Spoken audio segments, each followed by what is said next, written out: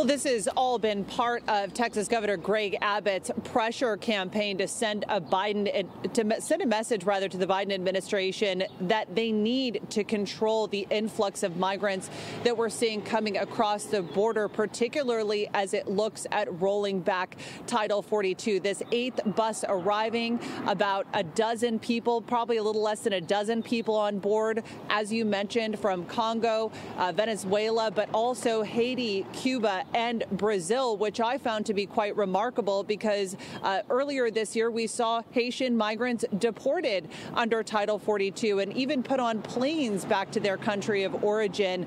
All of this, though, uh, to say that we are now a couple blocks away from where those migrants were dropped off. They were shepherded by local aid organizations. We have seen Human Rights Watch, Catholic Charities, the Salvation Army, all on hand to receive these migrants to to help them get to their final destinations. Some of those migrants on the bus decided to get off in Birmingham, Alabama to then go on to Miami. Uh, that's been sort of a sticking point. These buses have the capacity to carry 40 people, but there's really only been about a couple dozen. They've taken Abbott up on his offer for a free ride to Washington, D.C., because when they've crossed the border, they don't have any money to get to their final destination. This was an opportunity for them to do so. I've previously asked them how they felt about being part of a political message.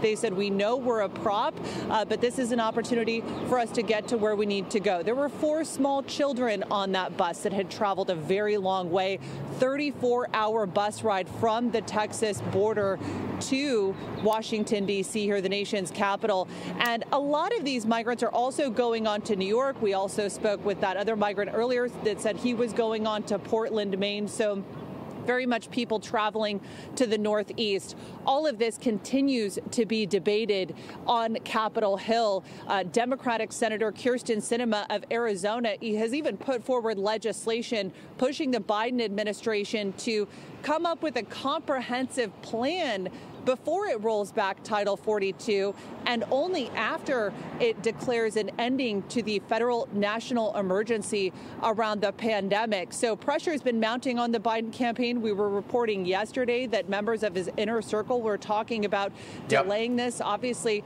bit of a conflict from what we're hearing from the White House press secretary, but the pressure is on at this yeah, point. Yeah, excellent Rob. reporting, Kilmeny. And by the way, you know, you could say, fine, these these people, these immigrants, are being used as political props.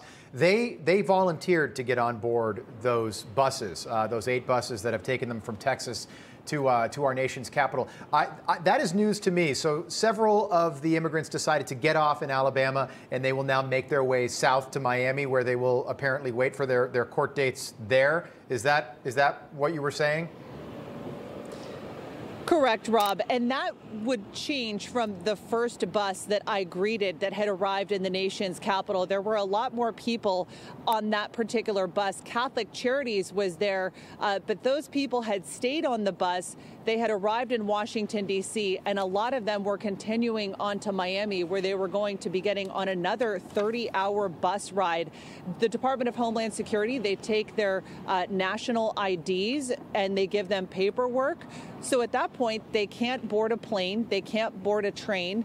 Um, but all of this is very much connected to sort of the conflicting. Uh, theories on, on sort of is this pandemic over? Republicans have yeah, cried foul point. on this because they say, why is it over at the border, but we're extending the federal transportation mask mandate? Yeah, and you asked several of these immigrants um, what their vaccine status was, had they been vaccinated. Um, I understand there's a language barrier, but but the two people that you spoke with didn't seem to know really what you were referencing. Um, and, and one gentleman actually said, I don't speak English very well, but when you asked him where he was going in perfect English, this gentleman from the Congo Congo, which is in the central part of Africa, made it very clear that he's on his way to Portland, Maine. Um, pretty unbelievable stuff, but that's just a glimpse into Joe Biden's America and where we've gone in a very short period of time. Kilmeny Duchardt, thanks so much for the update. We appreciate it out there in Washington for us this morning, uh, covering uh, that breaking news this morning.